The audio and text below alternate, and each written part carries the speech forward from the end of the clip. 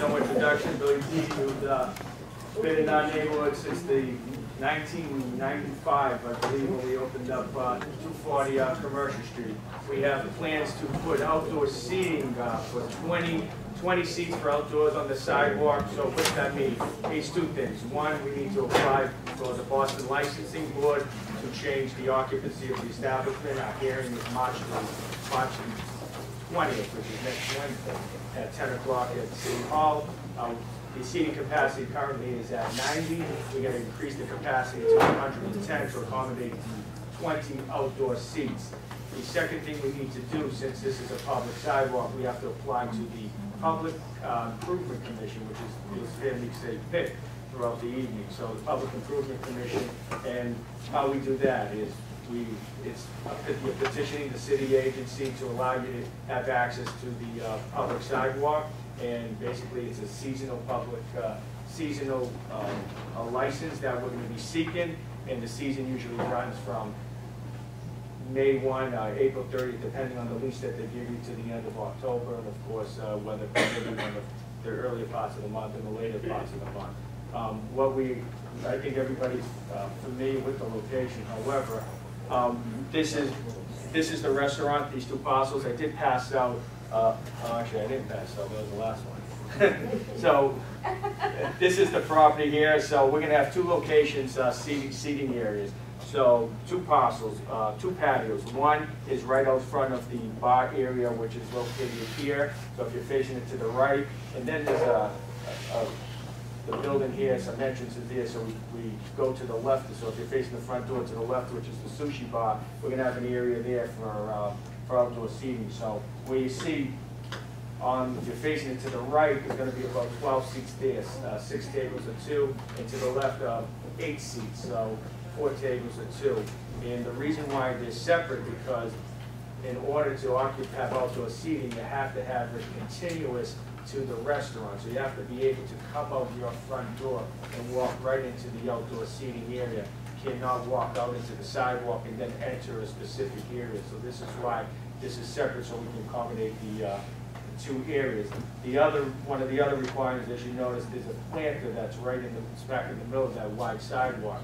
There is approximately ten feet from this planter to this, uh, the front of this building, which is a, uh, the perfect amount of space because you need a minimum of six feet of patio space to accommodate your tables and chairs. And you also have to allow for a minimum of four feet for pedestrian access and handicap access. In addition to this particular, so ten feet is, is, is perfect.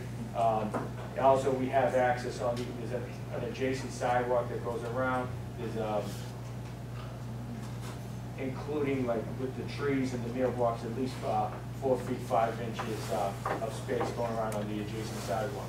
So in order to apply, so in order to apply for PIC, you have to, uh, submit your request to, and your plans to a number of public agencies, approximately eight public agencies, which include neighborhood services, transportation department, persons with disabilities, uh, water and sewers, and, and a few others. And you also have to submit your proposal to a number of private utility companies such as Comcast, uh, Verizon, the National Grid, um, and you have to get responses. Once all those responses come in, whether there's an objection or not, once you get your full packet together, you can submit it to PIC, and then you get on, you have two hearings. One is a preliminary hearing, and then the second one with, with there's a vote, which is, I believe, there's seven members of the board. I think Nicole could probably answer that a little. Is it seven members on PIC? Uh, That's okay, to. Yeah. Yeah, so go and you, and you have your hearing. The hours operation, um, for the outdoor seating, we, there are no changes for next week's, I'm sorry I'm talking fast, I know we're running out of time time, I know there's another uh, petitioner, but this, the hours operation are not gonna change. Right now, uh, Seeds has been a licensed, uh, all alcohol license uh, holder since he began that establishment, at a midnight closing hour. We are not gonna change that closing hour. However, I anticipate in our lease with the city, they probably, would- they do it all the establishments in the neighborhood, that the windows usually have to be closed by eleven o'clock. So if that's one of the requirements by the the licensing board or by PIC, we're more than happy to comply with it. One of the issues we heard was trash um, at, at the location and keeping it clean, because that plant, they had some, some problems with, with some rodents, so we want to do our best with There's a I I see one, uh, of those here that's, that's been here and concerned with moving the trash to, to a different location that doesn't sit right in front of two thirty-six Commercial Street, and certainly Billy's more than happy to work with, work with the neighbors in doing that. I think Billy has been a good neighbor for, since he's been there. I've heard, haven't heard any, uh, opposition since, uh, some of the neighbors that I spoke to, so, um, I'm here to answer any questions. I, I'm, hope I don't miss anything, but I'm here, so, We are running a little late, so I'll call in once, but that will be it for this issue. Um, Okay, anyone, uh, butters? Nobody wants to speak? Okay, questions from anyone? I wasn't sure about what you said regarding the hours. Uh, Right now, you're proposing to go along with the existing hours in the alcohol license, which has a closing hour of twelve midnight. That means that you can serve alcohol on the patios until twelve midnight, and you would not have to clear the people from the patio areas until twelve thirty AM. And I just think that's way too late. And I don't think people are gonna be eating, they're gonna be mostly drinking, if they're there at all. And so what's your, you said something about eleven? Well, Well, I, I don't think we're gonna be allowed to stay out there beyond eleven o'clock, because I, I know the city orders you, and it's part of, a condition to, to shut your doors at eleven o'clock because of the noise issue. So, I mean, where our, our application before the Boston Licensing Board is, is not gonna affect our closing hours. Our closing hours on our license has been midnight, and we're gonna maintain our, our- those hours, we like to maintain those hours. Um, for the outdoor seating, certainly if, if we have to close at eleven, close the doors and bring them instead, shut that down because requirement, we, we do it. But we No, were uh, able to get Battery Wharf to change its proposed hours from something like one AM or two AM. No, I think it was eleven, down back to to ten. ten. Originally, it was later than that. I think it was one originally. So, uh, you know, so, I don't know how others feel about this, but I'm not sure how to, how to vote on this. Are we going to vote no, be, would, would I have the opportunity to vote no because I don't enjoy your hours? Or would I, I would actually prefer to have the opportunity to vote yes if the hours were limited to eleven P M seven days and that the owner agreed to those hours? Or, or would you be willing to, to do the same as Battery Wharf and, and do it till ten? So, I- I- It's something I haven't had an opportunity to speak with, with the owner about bringing the hours down, because hours, we weren't adjusting the hours on a alcohol license, so it's not something that I discussed with him in- in depth. I mean, for the licensing board hearing, which is on Wednesday the twentieth, that's not gonna be an issue, but maybe at, at PIC, which would be coming up in April, maybe that's something we can maybe work with the neighborhood, or give the opportunity to speak with, uh, Why it be an issue for the licensing board? They can put right in the license that the patio service is till eleven P M only. Yeah, I assume PIC would, I assume PIC would, want it, but maybe. We don't get a chance before the PIC, generally speaking. We only have this opportunity before the licensing board. And, uh, so, I think we, I- you know, stronger position here, for those who agree with my position, the stronger position is to vote no, and in our letter say we voted no specifically because we believe that the service should be no later than eleven P M. That's a clear message to the licensing board that that's the issue, and it sends a signal that if the licensing board is willing to constrain it to eleven P M, then limit it to eleven P M, then, uh, To do it another way, you could vote yes, because I haven't seen, heard any opposition, and I don't think I've heard any opposition from, from neighbors. Um, Vote yes with the condition, I'm not saying we're gonna agree to it right now, but the, the NEWRA committee can support it with the letter saying that we support it, but we like to see the closing hour at, just for the patio, at eleven o'clock, because we don't wanna, we wanna maintain our midnight closing hour on the license as it is. I think you have to close anyway at eleven. I think do. Let me, let, let- let me, let me get into this. Uh, Anticipating this question, I called the licensing board today, and anticipating another question, which I haven't heard yet, and I'll tell you that one too. Um, And I was told that, yes, uh, many uh, uh, out- outdoor uh, alcohol service establishments have an 11 o'clock uh, closing date, but each application is taken on a case-by-case basis. That is, there is no rule. I also asked them about uh, alcohol only with food. Is that uh, something that the licensing board applied? The same answer. Many outdoor uh, patios and serving establishments uh, are restricted to alcohol service only with food. However, it's a case-by-case basis, and there is no rule. So the only way to implement this, that Dave is, as Dave is suggesting, is a vote subject to those two conditions. And a motion, of course, too, to take such a vote.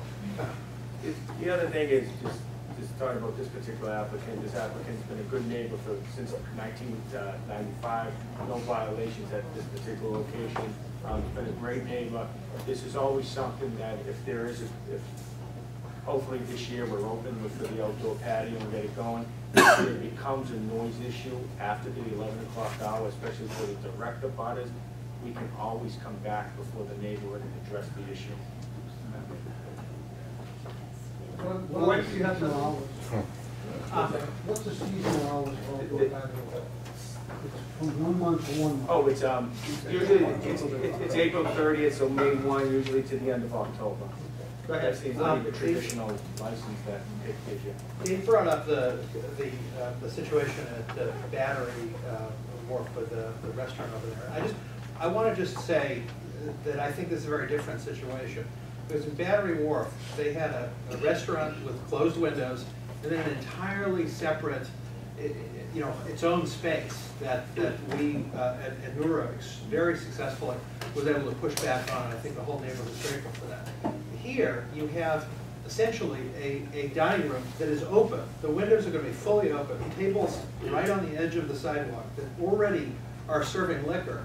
And you're talking about a six-foot incursion into the sidewalk. It's, it's like night and day. This is, this is a small push out as opposed to what was going on at Battery Wharf, which was an entirely different situation.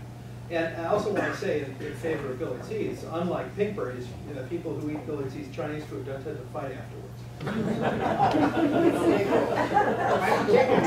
Uh, Mark Hannafis, and I live on Commercial Street, right after Kitchen Those, and just to, to build on that, the other thing is, you were saying that we probably have to close, close that typically with the city. Once you close that at Billy's, there's no, no door, so that opens and that closes. So once you close that, you have to hop a fence to get out, so it would be likely that they would probably Um, have to come in anyway. And- and- To correct you, it, that's not true, um, you, you don't have, because there's gonna be, there's a door here, you come out, and then this will be a little door. They're gonna add another door. Right, you have to. Yeah. And so it's not once these doors close, you're, you're cut off, you have upper room. There's the entrance here, exit, and you're gonna be able to access here. So, um, yeah, so if you're not, but, but if the city during our licensure hearing, and if that's a requirement for the outdoor, but we'd love to keep the closing hour, the license hour the the same. Yeah, and if it's an issue with noise, we're, we're more than happy to And address if I it. could just add quickly to that, uh, Billy's, he's had a midnight license for many years. Yeah. I think, I, I go there, I eat there. There, I can't remember ever seeing the place open till midnight, even on weekends, they're typically closed much earlier. The crowd there is very different than a lot of the other, but some of the other locations that tend to attract some of the college students there.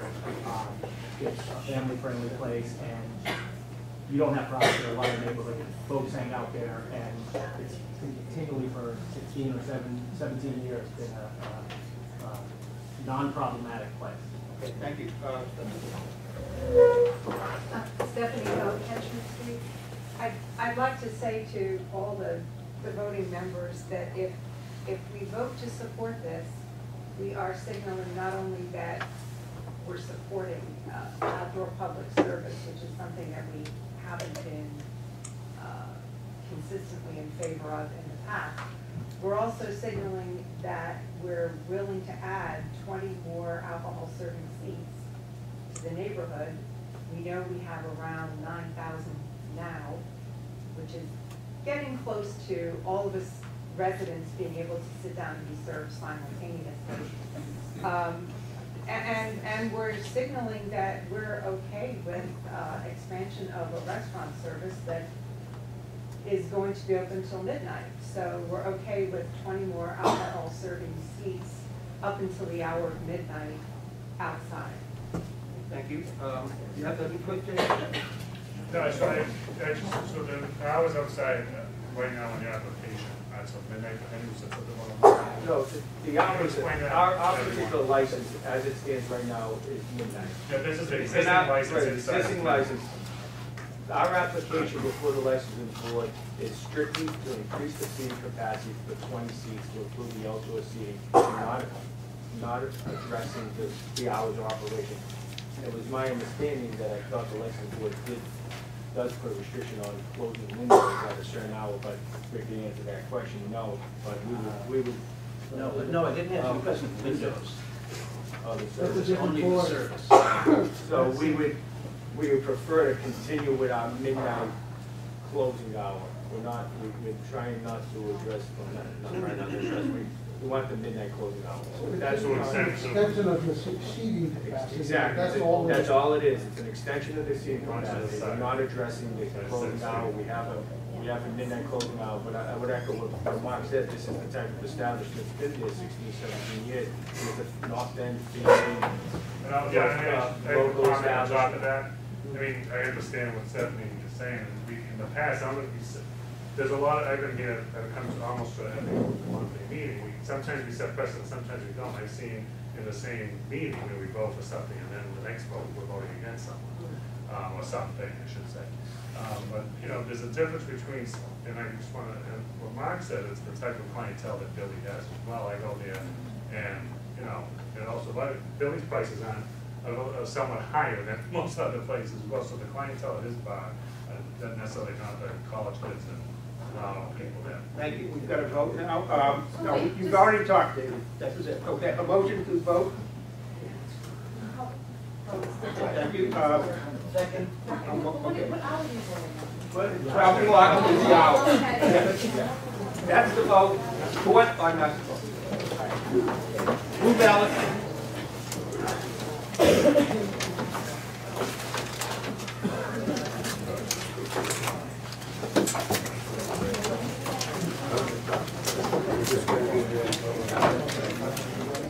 We have eighteen support and nineteen opposed. So, your vote.